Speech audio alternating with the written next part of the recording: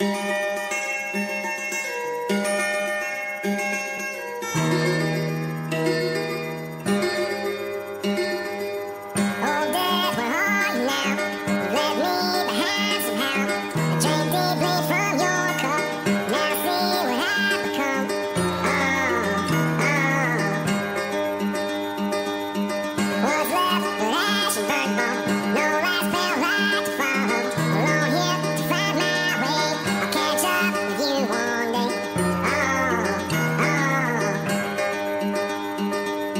so that's crooked and untrue